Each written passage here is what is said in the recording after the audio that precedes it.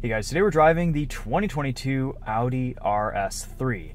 I'm not gonna lie, this is one of my most anticipated cars of the year of 2022.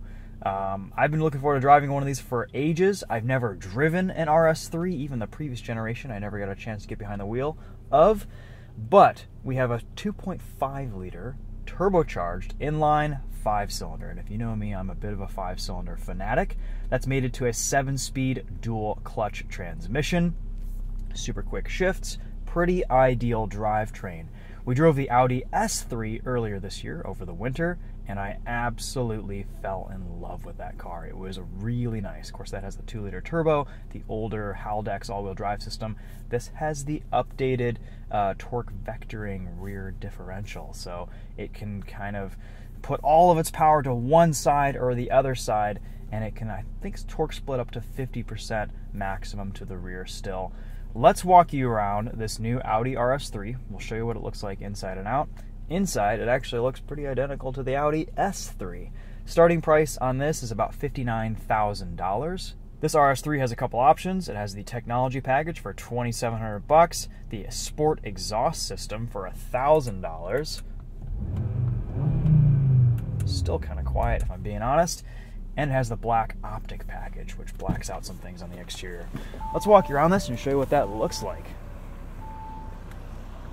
This is painted in Kemora Gray, which I think is a super sleek looking color.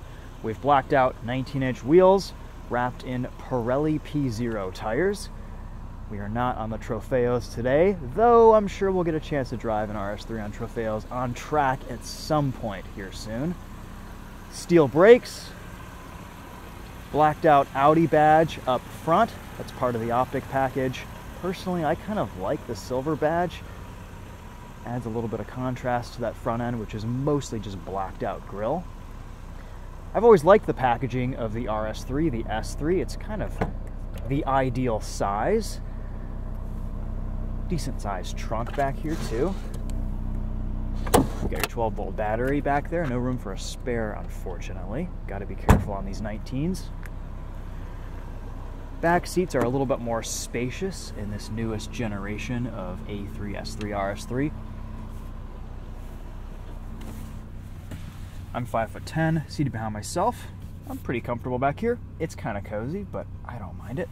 We get rear vents, a little bit of climate control, hot, cold. Nice looking armrest. The materials, the leather, everything in this RS3 feels very nice. Though I've got to say, I'm a bit disappointed that there isn't that much of a difference between this RS3 and the S3's interior. I was expecting just a little bit more pizzazz, a little bit more specialness, maybe some extra Alcantara or carbon fiber accents, or, you know, some extra trimming here and there. For the most part, though, this is still a very, very nice interior. Lots of buttons, great functionality and integration of the tech. Um, overall, Audi is killing it with their interiors these days, and this RS3 follows suit. We have super wide front fenders here. I love this piece, kind of looks like an old school Audi box flare. And we actually get wider tires up front. These are 265 30 R19s, and then the rear, we have two 45 35 R19s. That's to kind of mitigate some understeer, which is interesting. Audi made a similar decision with the previous generation RS3, and it didn't work out as well as it does in this one. The Trick all-wheel drive system really helps eliminate all the understeer that this car inherently has. There's that 2.5 liter turbocharged five cylinder. That is the heart of this car. It sounds fantastic. It pulls like crazy. A little bit of turbo lag, but we'll talk about that more when we get on the road. We have 401 horsepower. It's rated for about 20 miles to the gallon in the city, 29 on the highway, so actually still reasonably fuel efficient. Driving it this week, uh, just kind of cruising around town, I've been averaging around, I don't know, 25 to 29 miles to the gallon, depending on my highway city split. Uh, pretty easy, I think, to get around 30 mpg in this car. When you first start it up, it'll say RS3 in the headlights here. If you unlock the car and the lights need to turn on, that's kind of a neat little party trick. We're just going to get you some first impressions on this RS3 this week. I've spent limited time in this. only a couple days behind the wheel.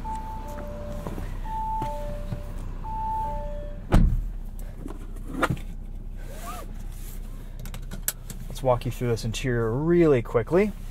Really nice looking seats, very comfortable. Classic crumb collector right here. A little bit of uh, carbon weave material there. You've got some ambient lighting right here. Nice and responsive touchscreen. We get wireless, CarPlay, Android Auto, all that good stuff.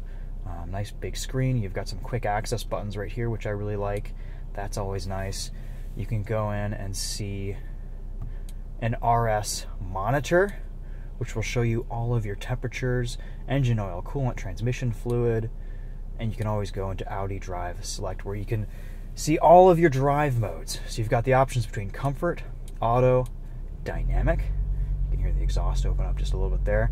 And then there are these settings RS individual, RS performance, which is kind of the most hardcore drive mode, and then RS torque rear, which will turn off ESC, and it's basically drift mode. So it'll kind of overpower that outside rear wheel and slide you around the corner just a little bit. We'll test that some today. We're going to start off probably in auto and then we'll ramp things up. You also get this quick control button here that can take you through RS individual and RS performance modes, kind of like the M button on M cars. Uh, very useful. You have to go into this setting specifically for RS torque rear or the drift mode. You've also got a drive select button down here, traction control off, parking sensors, heated seats, great physical climate control switches. Everything just has a really nice tactility and feel to it. Little shifter down here, kind of your classic new VW Audi Porsche shifter. Um, it's okay. I'm not the biggest fan of this. While I've been driving this car this week, I did kind of wish for some type of way to shift gears manually without just using the paddles. These paddles are set pretty inboard, and sometimes they're a little bit hard to reach if you're kind of hand over hand with this car or really hustling it. Parking brakes right down here. Got a little cigarette lighter charge port, a little bit of storage there too. Um, you've got some cheaper plastics in this interior. Uh, right down here, right here on the door panels, the dash. So, you know, for your sixty, sixty-five thousand dollars, there is a little bit of uh, you know disappointing materials here. But overall, I would say this interior feels very high quality uh, for what it is and what its competitors are offering too. So I think overall, Audi's done a pretty nice job here. We have this fully digital gauge cluster. You can choose between one of a couple different views. You can see your navigation. You can see a bunch of information. It's kind of information overload. I think it's a little bit too much. You can also select this reduced display, which will put everything away, but you have to do that every time you drive the car if you want that reduced display. So we'll probably just leave it on this. And then, of course, the gauges also change when you put it into RS Performance and RS Individual mode. So your rev counter shifts a little bit, and uh, you get a bunch of warning messages, and then you can see a little G meter here on the left, or tire pressures which is kind of cool. You can see your peak G's. Let's see here. Trip, computer, lap times, lap statistics. Sport displays are kind of fun. Let's reset our G values and see what we hit on our drive today. It's about 61 degrees Fahrenheit, so a little bit of a chilly morning, but good boost weather, and we should have a pretty good drive on our hands. Um, let's see, RS individual I have set to sport torque splitter, sport drive, balanced suspension, sports steering. Steering's pretty light in this RS3, so I like the stiffer settings. Loudest engine sound and ESC is on. And then for RS performance, we're going full full Monty. We're going everything in stiff. So we'll just start off in auto, see what this is like to kind of daily drive and cruise around in, and then we will uh, ramp it up from there. Okay, off we go.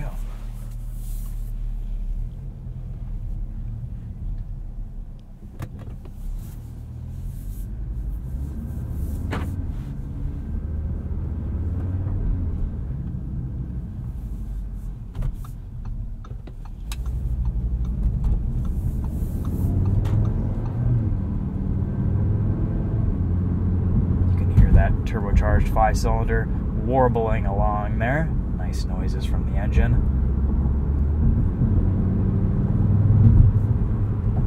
Ride quality in this RS3 is excellent.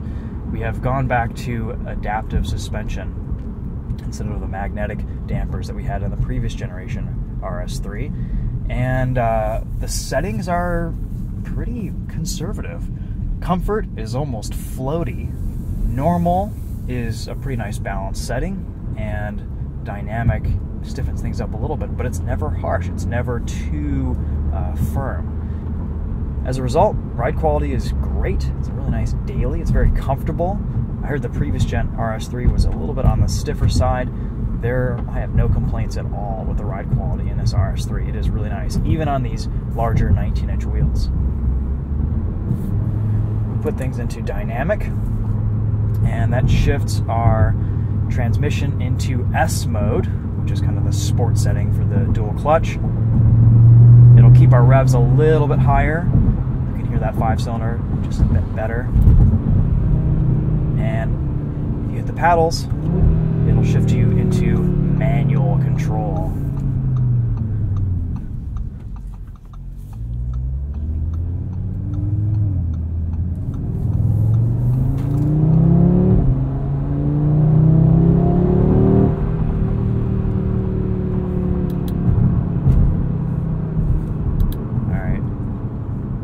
RS performance mode here.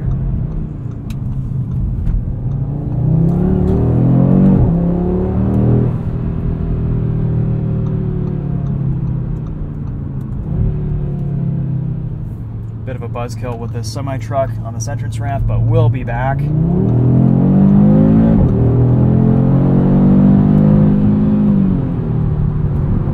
It is quick. 401 horsepower goes a long way in this car.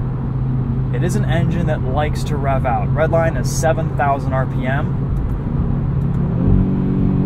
You have lots of control with this 7-speed dual clutch. And it really plays a wonderful song. I love the way this five-cylinder sounds. If I had one complaint, it's a little quiet. Even with the sport exhaust, I wish this made a few more special noises, had a little bit more drama to it. It's a bit, eh, it's a bit maybe just bland and vanilla for a turbocharged five cylinder. For the power that this puts out, it's a little bit conservative. I feel like the S3 had a little bit more drama to its sound, and that was a two liter turbo that was doing its best impression of a five cylinder. Still, not mad that we get this car in the United States and we have the option to choose this engine. I wish Audi put this motor in a lot of their other vehicles. I'd love to see this in just about anything with an S badge on it. All right, let's go into, eh, we'll leave it in S performance here. This is a pretty fun mode. Uh, you really only start to appreciate this car when you push it. Driving it around normally in auto mode or even dynamic mode, it just feels like a regular Audi A3 or S3, and it kind of sounds about the same too. Uh, you don't really start to appreciate this turbo five cylinder until you're really hustling it.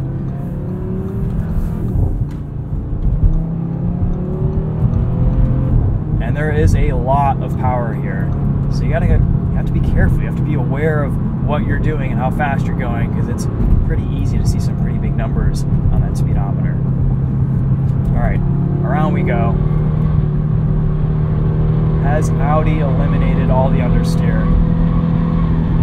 Well, not really, but on throttle they have.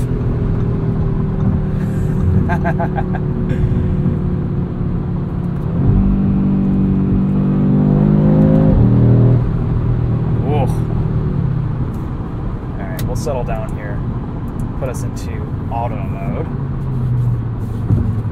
Flip on our visor, engage cruise control. We get a nice steering assistance system in this car. Adaptive cruise, we can easily change our following distance with this toggle switch down here. skip two and a half mile an hour increments.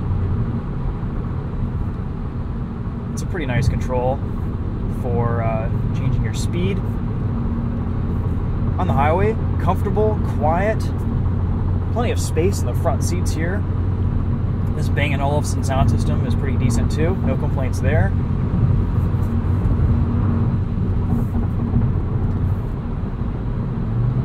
There's a little bit of a delay with this powertrain when you get into the power.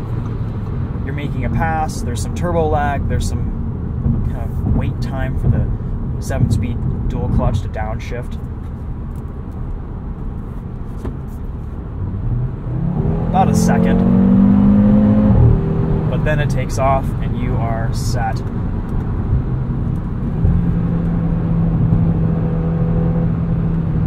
Paddle shifters are pretty responsive.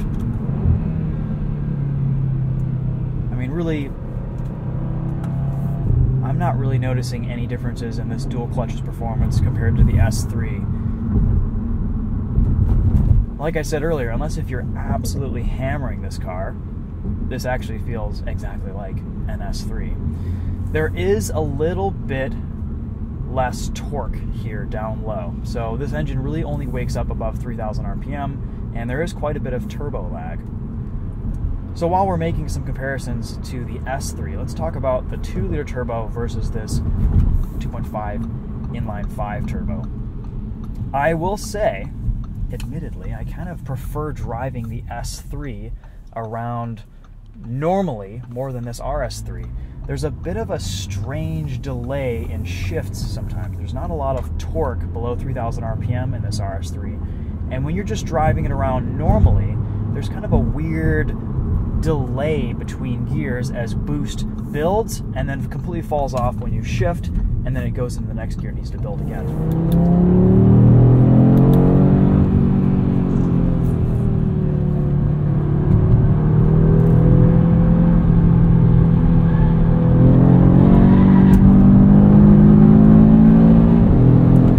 The all-wheel drive system, though, is fantastic. There's no denying that.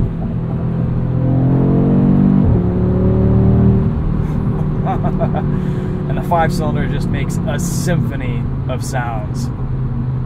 Even though I wish it were a little bit louder.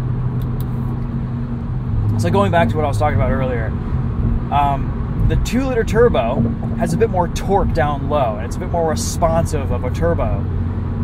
And as a result, I think it's actually a little bit better to drive more of the time than this 2.5 liter because it kind of maintains that torque between shifts. This 2.5 turbo falls off every time it shifts gear, and there's a little bit of a weird lurch. And uh, unless if you're controlling the gears yourself or hammering around in S mode, it's kind of a, a weird driving experience. You either feel like you're going a little bit too slow, or if you get into it, you're flying around and you're speeding everywhere. Maybe a tune would fix that. Uh, you know what would fix that is a manual transmission, and I really, really, really wish Audi would offer this with a manual, but I think those days have passed. So, I I do really like this engine and transmission combination, but that is a big complaint after driving this all week. Is as a in daily situations, 90% of the time when you're driving this RS3, I actually prefer the way the S3 drives. And uh, the way the S3 sounds is actually really similar to this RS3. And I don't know if you're really getting the extra enjoyment out of this RS3 until you really start to push it. So, when you're making your purchasing decisions, if you want an RS3, go get one because this is probably last of breed. It's a very special car. It's got a very special engine. It's super quick, super capable. This this all-wheel drive system is really revolutionary for an Audi. It's miles better than the standard Haldex in the S3. But as a daily, as a car, I don't really know if it's that much better than the S3 90% of the time. That extra 10% when you're really hustling, if you take this out to the track, if you're doing canyon runs, if you're really pushing this car, it's a much better vehicle than the S3. But the rest of the time, I think the S3 kind of wins out. which is a bit strange to say and, and kind of a surprise to me this week. So, anyway, take that as you will. These are just some first impressions in this car this week, but uh, I have been a little bit underwhelmed with this RS3 in normal driving. But that said, on the contrary, I've been very impressed with it when it is uh, is pushed, and the harder you push it, the better it gets. So that's a great that's a mark of a great sports sedan. Um, let's go drive some more roads, suss this out. Maybe we'll try RS Torque rear and see how that handles.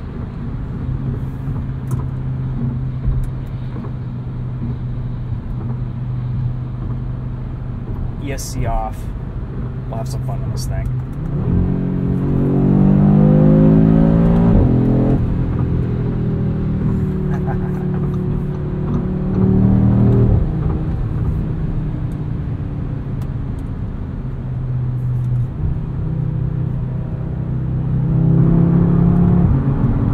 Also get launch control. It's absolutely brutal.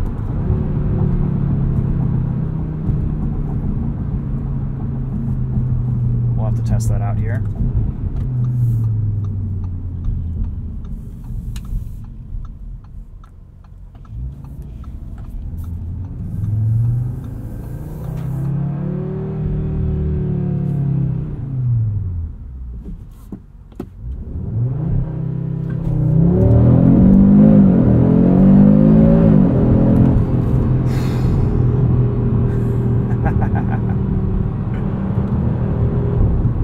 Four seconds to 60. Wow.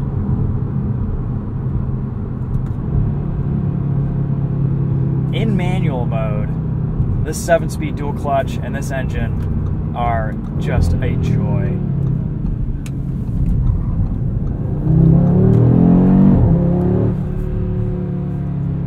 All right, so RS Torque rear, very little understeer now. Completely changed the character of this car turn in, you can feel that rear axle just kind of rotating us in, and on power, smooth power out. It feels a little bit like the Focus RS, where it's almost overdriving those rear wheels, but it's doing trick stuff with that rear axle, and it really works well.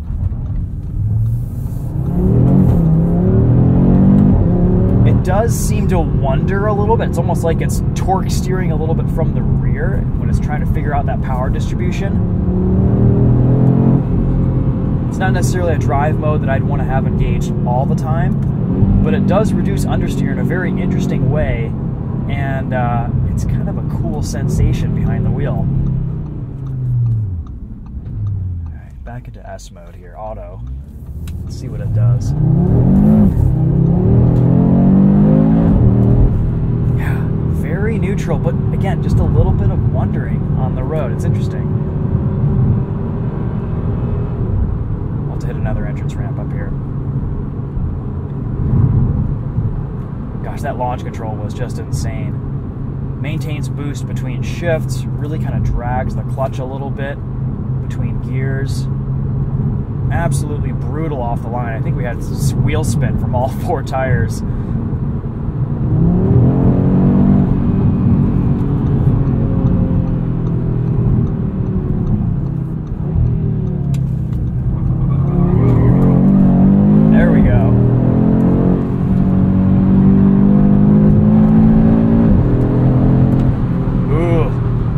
RS Torque rear mode is fun. Really fun.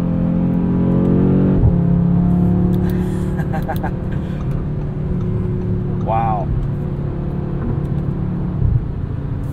I think it's just kind of a setting for hooning around a little bit. Because of that wandering around, it's not something I'd want to be driving in all the time. It's a bit disconcerting, but it does a fantastic job getting this RS3 rotated around a corner. RS Performance is also supposed to do the same thing, but it really only gets this car rotated on power. Off power, you're seeing a little bit more understeer out of this car, which is understandable. One thing I do like is you can put this car in individual mode, put your transmission into drive so you're not sitting at higher revs all the time, and you can select how stiff you want your suspension, how heavy you want your steering, engine response, all that good stuff. And it's kind of the best of all worlds. There are so many different drive modes and settings and options to set up this RS3 that it can get a little bit overwhelming, and sometimes it feels like you're in a bit of a decision paralysis. But this RS individual mode, just kind of figure out your favorite settings, tailor everything, couple button presses, and you're there. I think is probably my drive mode of choice. I'm not crazy about this gauge cluster with this Star Wars style rev counter. Um, it's just kind of a little bit counterintuitive to read. I I do really miss Audi's old physical gauges. The tach, the speedo, they were so clear, so sharp, so easy to read. It was like a beautiful watch face, beautiful chronometer. So so cool and really high quality, just nice to nice to view. And you know, these new fully digital gauge clusters are all the rage, but look at all the crap that's on the screen. It's it's so much information. It's it's too much. I've been putting this in reduced display a lot this week, and it seems to kind of calm my mind a little bit. But I don't know. I think I think we're going a little overboard with some of these digital displays. Keep it simple, guys. Keep it simple.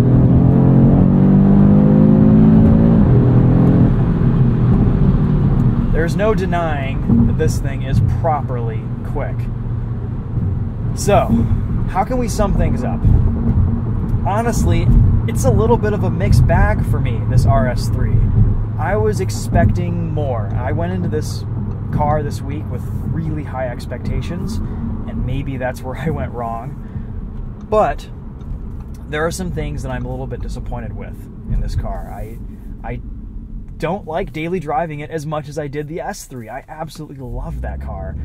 And when you're just cruising around in this thing, it's a bit underwhelming. It's a bit dull. It's a bit normal and pedestrian. It kind of just feels like an Audi A3. And it only takes really hammering this thing around to appreciate its finer points. The rest of the time, it just doesn't feel that special, which is unfortunate maybe a tune, an exhaust, a little bit of aftermarket massaging would solve that.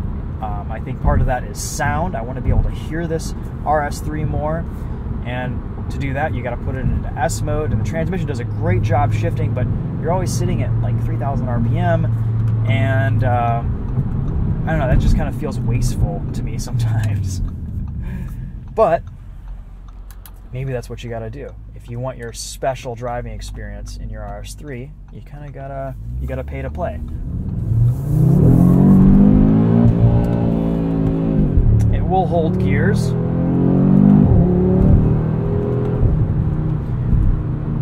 RS torque rear mode is cool. It's a bit of a gimmick, maybe um, because it really only works to kind of get this car rotated really well, and the rest of the time it's doing weird things in a straight line. It's, it's almost like it's torque steering on throttle, uh, and it's trying to get that power distributed in a very strange way. Um, I think Audi just needs to do a little bit more refinement to some of these systems. I would like to see them tweak the power band a little bit. I'd like to see a little bit more torque down low.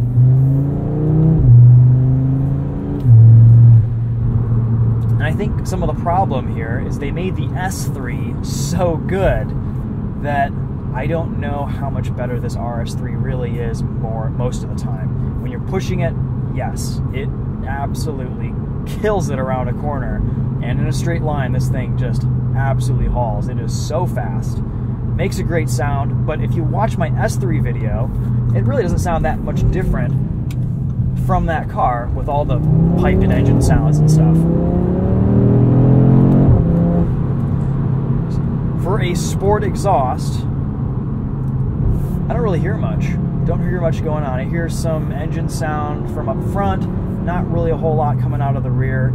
There is definitely a valve in there, but I think with all of the new emissions restrictions, uh, this RS3 is a bit neutered when it comes to noise, unfortunately.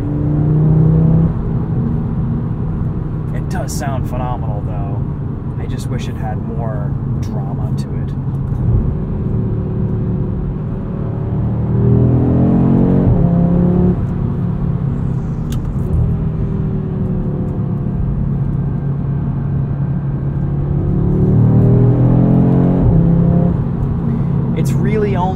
To drive in manual mode when you're shifting yourself.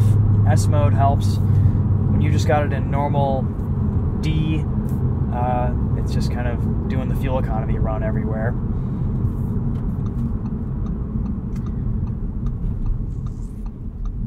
There's something in here in the door panel sliding forward and backward. Maybe it's a clip that fell out. It's been a little bit strange to listen to all week.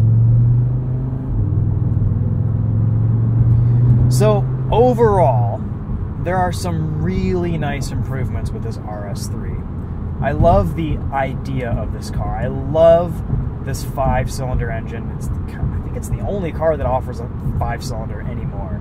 And it just reminds me of my first car. I had a Volvo 850. It was an inline five cylinder. It sounded like this, it made all the right noises, but this has power, a great transmission, it revs to seven grand and it does all the things to satisfy my five cylinder craving. I love that about this RS3. So, anyway, guys, those are my thoughts on the RS3. Um, not the rave review I was expecting on this car. I need to spend some more time with it. I would love to test this on the Trofeo R tires and get it out on track because I think that's really where this is going to shine. Um, you've got some amazing new tech here that really can only be exploited at the limit.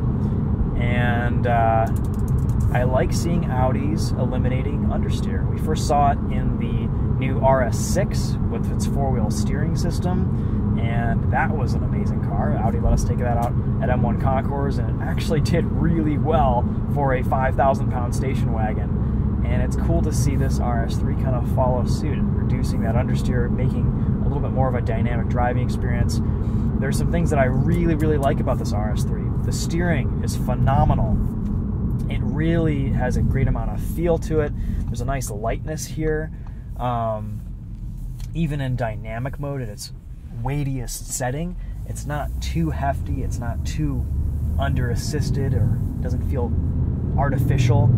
Um, you kind of feel the revs and the vibration from the engine through the rim, adds a little bit of tactility to the driving experience. Otherwise, this is a really solid daily. Don't get me wrong, it does everything so well, almost too well. And Chris Brower said that after driving this for a few days. He's like, it's almost too good. I wish it were a little worse in some ways, so that it would be better. I think it. I think it needs just a little bit more personality. This RS3. So if you're getting one of these, you're probably going to go visit APR for a tune, maybe an exhaust somewhere too. I think a lot of owners aren't going to keep these stock. And I think that's where you get the most out of this car is, is with a little bit of aftermarket massaging. From the factory, this is a pretty darn good effort, but it just needs that little bit extra flavor. And uh, sometimes that's the case with Volkswagen Audi products. And and after that, they're in they're pretty much perfect. So anyway, guys, we'll leave it there for now. Thanks for watching. Let me know if you have any questions in this video, but um, there's some first impressions on the 2022 Audi RS3. Big thanks to Audi for letting us have a go on this this week. Can't wait to take take it out on track someday and test it on those Trofeo R tires because that is going to be a uh, an absolute treat. Let's see here. As far as G values, we hit 1.16 maximum G, and we hit 1.06 G on acceleration. Wow. Um, I don't doubt it. That launch control was insane. Cool. All right, that's it for this one. We'll see you guys later. Take care. Your mobile device is still in the vehicle. Yes, thank you.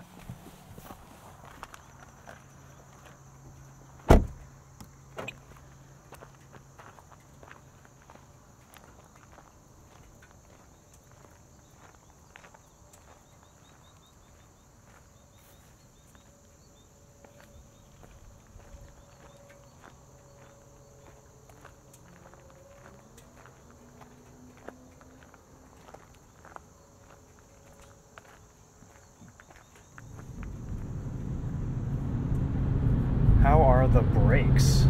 Let's do a little brake test here.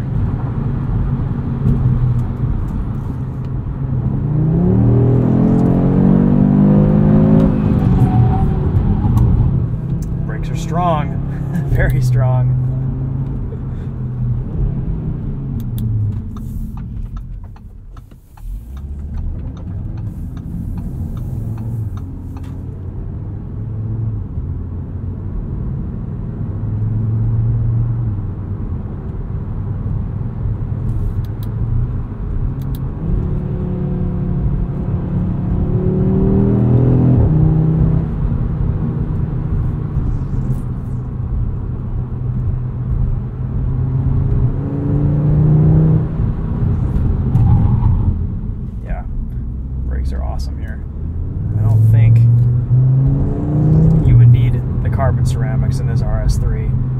Brakes have great bite, really nice linear pedal feel.